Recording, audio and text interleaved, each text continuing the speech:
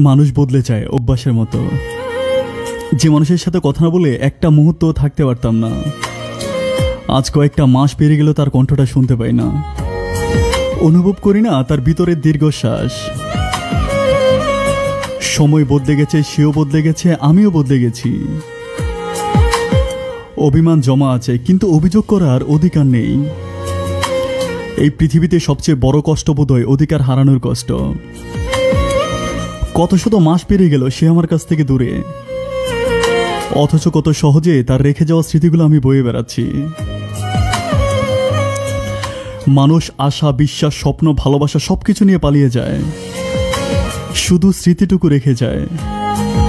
যা অপর প্রান্তের মানুষের জন্য বয়ে বেড়ানো কষ্ট ছাড়া আর কিছুই নয়। মেসেঞ্জার হোয়াটসঅ্যাপ ইমোতে যার মেসেজে পূর্ণ ছিল। আজ সেখানে শুধুই হাহাকার।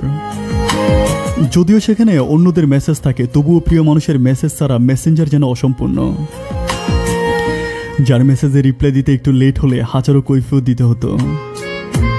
কেন এক মিনিট লেট হলো, কেন টাইপিং করতে সময় লাগে? অথচ আজ সেখানে মেসেজই নেই। মানুষ বদলে যায়, অভ্যাস বদলে যায়, অভিমান বদলে যায়, অভিযোগ বদলে যায়। মানুষ পরিবর্তনশীল, এটাই স্বাভাবিক। আজ যাকে ভালো লাগে, কাল তাকে ভালো নাও লাগতে পারে। কিন্তু মধ্যখান থেকে আমরা ফেসে যাই।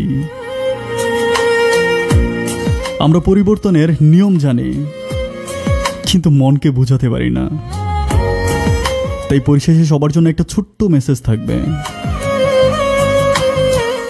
বেইমান কখনো কাঁদে না আর স্বার্থপর কখনো স্মৃতি মনে রাখে না। তাই নিজেকে বদলে নেওয়াই আপনার জন্য উত্তম। ধন্যবাদ সবাইকে